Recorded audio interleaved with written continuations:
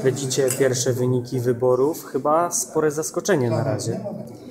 Y, No zobaczymy, jak to się dalej rozstrzygnie. Rzeczywiście te wyniki pokazują, że w Gorzowie może dojść nawet do rozstrzygnięcia w pierwszej turze, więc y, zobaczymy, jak y, będzie wynik ze wszystkich komisji wyborczych. Pojawiają się też Pani pierwsze wyniki. Tutaj raczej e, zgodnie z sondażami.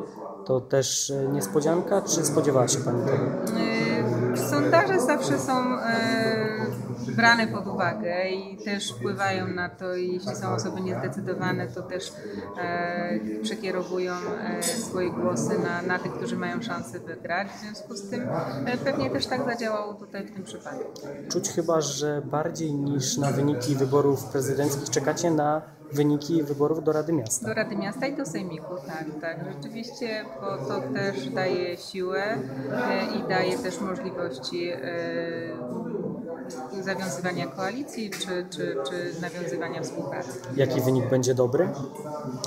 Ja bym bardzo się cieszyła, gdybyśmy mieli 10 radnych, e, czyli mm, potwierdzili wynik sprzed 4 lat, 4 lat, e, to znaczy dwóch radnych z każdego okręgu.